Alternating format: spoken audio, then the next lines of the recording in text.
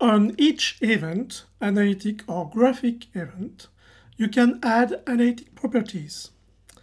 In a graphic event, if you select analytic tab in inspector of properties, you can see there is no analytic parameters.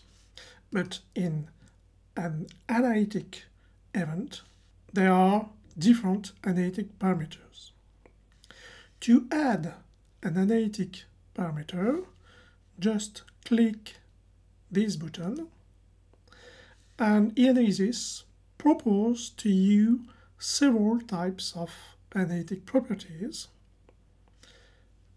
in different categories.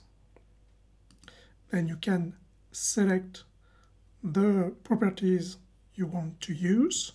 You click add and then and then and then you can select the value. You can also create your own analytic properties.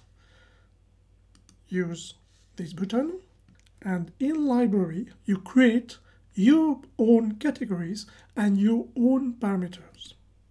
Select library, click on this button, create a first category and then you can select it and click and add new parameter. This is a default parameter. Then you select it and you click edit button to change these values.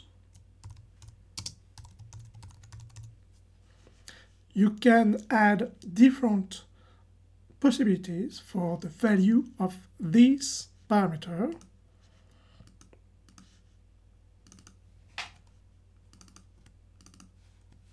for example. You can also add an HTML page if you want, for example, help user. And you can select a color.